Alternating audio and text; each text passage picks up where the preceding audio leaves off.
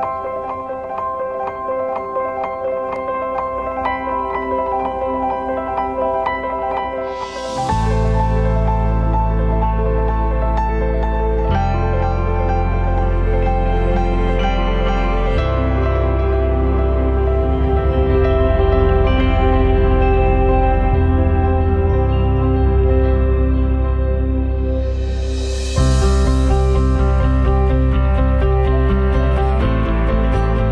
wanted to be in construction since I was a little kid, um, playing with Lego, building things.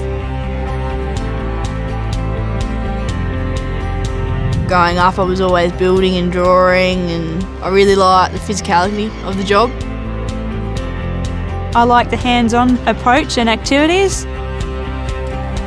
I like to work on a project and go back in a couple of years' time and show my friends and family that I worked on that project and I helped build it. Building something makes me feel proud and I'm the only one in my family who's a builder. It's a big deal for me. I love it.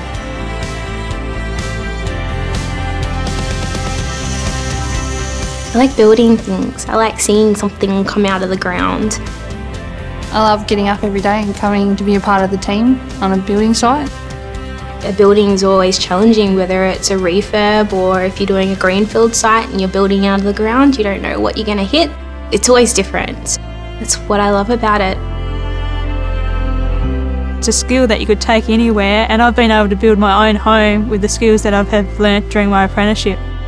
It's an amazing feeling and satisfaction. A lot of people associate construction with just generally being on the floor, boots on the ground.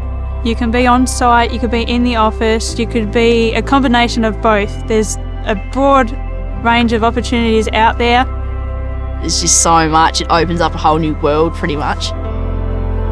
I did work experience in the construction industry and I really enjoyed it and it was something I thought I could do, I like it and I want to get paid to do it.